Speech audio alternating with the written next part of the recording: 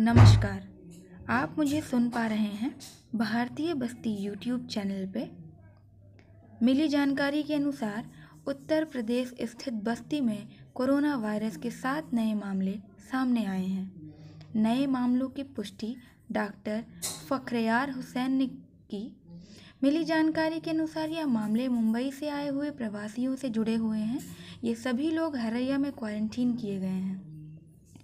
DM बस्ती आशुतोष निरंजन ने शुक्रवार को जानकारी दी थी कि ज़िले में 10 केस पॉजिटिव थे। एक मई तक इक्कीस सौ उनसठ सैंपल के रिज़ल्ट आ गए थे, वहीं सत्रह सौ पंचानवे सैंपल के परिणाम का इंतज़ार था। सात नए मामले आने के बाद ज़िले में जहाँ कुल मामले इकतीस हो गए हैं, जिसमें से सत्रह केस एक्टिव हैं, तेरह लोग डिस्चार्ज किए जा चुके हैं और एक की मौत हो चुकी है।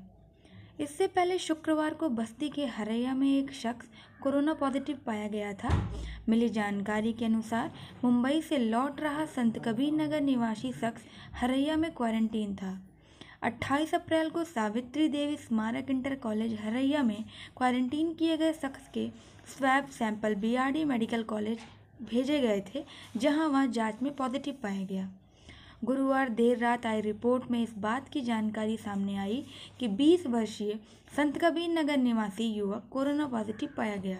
जानकारी के अनुसार यह शख्स संत कबीर नगर ज़िले के ककरहवा थाना दुधारा विकास खंड, सिमरियावा का निवासी है। इसके साथ ही युवक युवक को मुंडर मुंडरवा सीएससी भेजने की कार्रवाई शुरू कर दी गई थी। बाकी कोरोना मरीजों का इलाज चल रहा है। धन्यवाद।